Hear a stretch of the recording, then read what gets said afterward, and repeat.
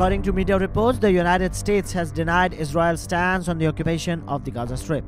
As Washington and Tel Aviv continue to disagree over Gaza's future governance, National Security Advisor Jake Sullivan of the United States has informed Israeli government that neither Israel's reoccupation of the Gaza Strip would make sense nor be right.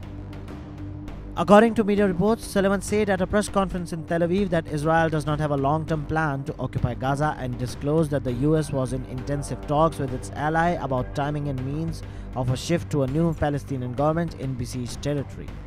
The National Security Advisor clarified that while Washington's stance on the strip futures is clear, we do not believe that it does make sense for Israel or it is right for Israel. The US firmly opposes Israel's occupation of Gaza, advocating for the Palestinian Authority to govern the region. President Biden emphasizes restructuring the authority, aiming for unification with the West Bank.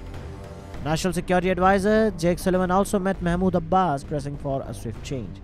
Secretary of State Antony Blinken stressed the importance of reforms combating corruption, empowering civil society, and fostering a free press after a meeting with the Palestinian leader.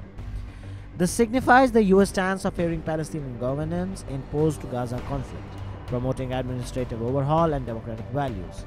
If the stance is somewhat what US want to push, then it does put Palestine's Mahmoud Abbas in a favorable position. Well, Mahmoud Abbas for a long haul wanted to see lesser control of Hamas in the Gaza, and it appears that it is finally going to happen. But will Israel accept the US's plan for the post-war Gaza? That is a question that needs to be answered.